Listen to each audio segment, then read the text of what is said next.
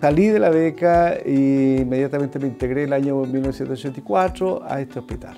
De médico tengo 46 años y como otorrino 40 años, de los cuales 18 años he sido jefe de servicio acá.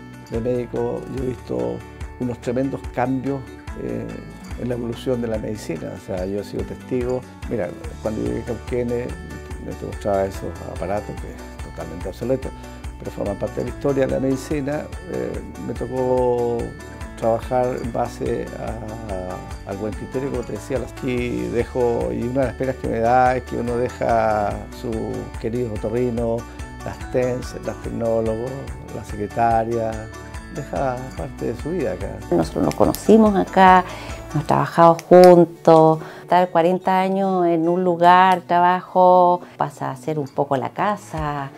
Yo estoy muy orgulloso de él, como primero, más que nada como persona, en lo profesional, siempre ha sido ver tanta dedicación y compromiso con lo que hace, eso sí pues llena uno de orgullo. Hoy día tuve mi última reunión clínica, vinieron también los otros, eh, todos los médicos de servicio.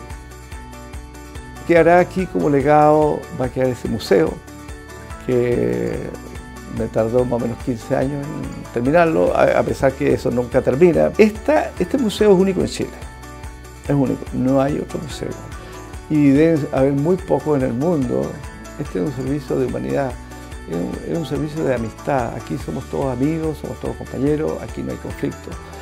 Así es que ese mensaje que ojalá se mantenga, porque es un servicio que va unido, entonces va en un camino correcto.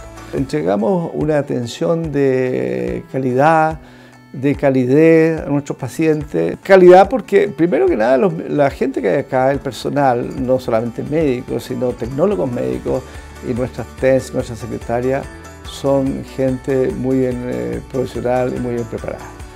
Y, y calidez porque nuestro trato siempre trata de ser amado.